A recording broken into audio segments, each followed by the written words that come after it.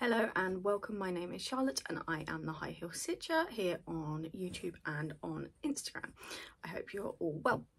This is not a proper floss tube, it is another video where uh, on my 33 while 33 challenge I will show you the progress that I made on the first project that I started on the 27th of September, my birthday, where I turned 33 I will show you what I will be starting today and what I will do the spinner for what I will be starting on in 11 days time.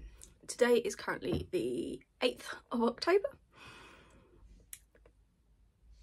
So uh, on my birthday, the 27th of September, I started Welcome Campers from the Witchy Stitcher. It is a freebie and I'm very happy to say that I have finished it. It took me a lot longer than I would have liked, but it is finished. And here it is. I had to swap out one of the bread, one of the reds and one of the greens because I didn't have those in stash.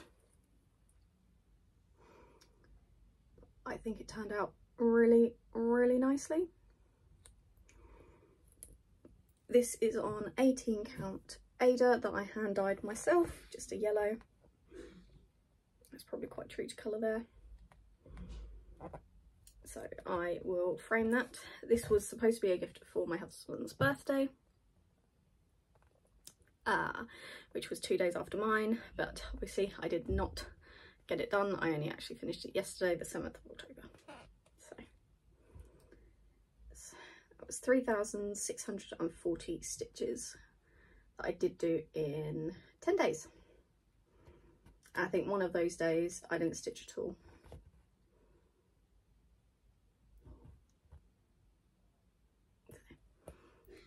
Oh no, 11 days and 10 stitchy days. So I'm really happy. I gave it to my husband yesterday. Once I finished it, I woke him up. he was in bed and I woke up and gave it to him. So yeah, I need to frame it and we need to decide where it's going to go in the house. So yes, really happy with how that's turned out. So when I did my last video, I spun the spinner and for the project that I'm going to start today and it picked this Christmas donkey. I've just got him from work so I haven't started this one yet but I will be stitching it on 28 count 2 over 110 so it'll be my first project using uh, tent stitch. If you follow me for a while you will know that this is a restart. I did start it a couple of years ago on 28 count just normal fabric but I didn't like my stitches. They kept slipping. So I have decided that um, I was just going to restart it. So I am restarting it. 28 count magic guide, easy count. That's all I got, one. And I'm going to be doing tent stitch. So yes, I will hopefully make some decent progress on this in the next 10 days, 11 days. But uh, Dara and I are actually going away this weekend to Cardiff to watch WWE. They're doing some house shows up there, so I am not going to take Dominick. He's a full coverage, he is a big full coverage, so I am not going to take him. I think I will probably take one of my other projects, one that is close to a finished tribal turtle. Um, I will hopefully try and make the time up that I missed for those three days that I'm not going to be stitching on Dominick, but um, he will get his designated 11 day stitching time on that. So,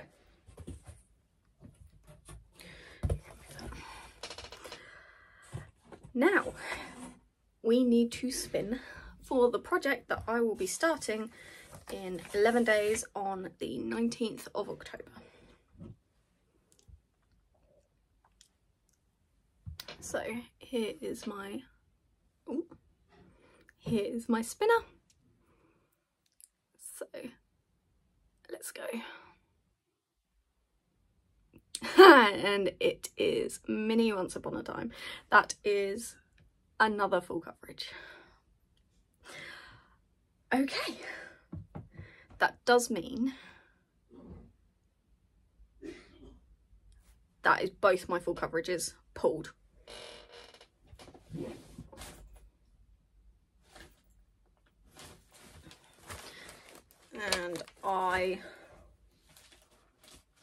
Oh, let me see if I can find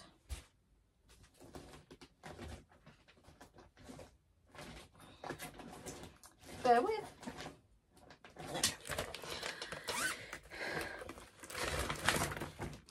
It is a mini. It is by Heaven and Earth Designs. It is um, by Anne Stokes. This will be stitched on um, 18 count Aida. So I think I've got about four full coverages on my spinner and I said I didn't want too many full coverages on the go at once so I limited myself to two full coverages. Once they got spun that was it. If another full coverage got spun I'll have to just respin and it seems that um yes it's obviously full coverage time which is not a problem because I love full coverage. Mini once upon a time.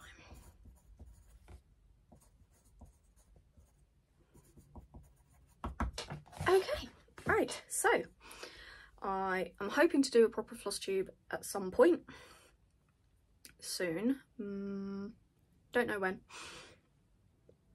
Hopefully before Cardiff. If not, it will be Monday when we get back from Cardiff. uh, yeah, so that is my progress on my first full, first start, the project that I will be starting today, and the project that I have spun for my third new start on the 19th of October, which means I need to fully kit that one. Thankfully, I already had Dominick kitted from previously. I will probably need to buy one or two more skeins. Um, or I'd use them previously, but that shouldn't be a problem. But Mini Once Upon a Time, I wasn't expecting it up so soon, so I haven't kitted that one. So I am going to have to try and get that kitted. So, short and sweet. Um, and I will hopefully see you soon. If not, it will be a on the 19th for when I do my spinner again and I show you my progress on Dominick. So I will hopefully see you soon.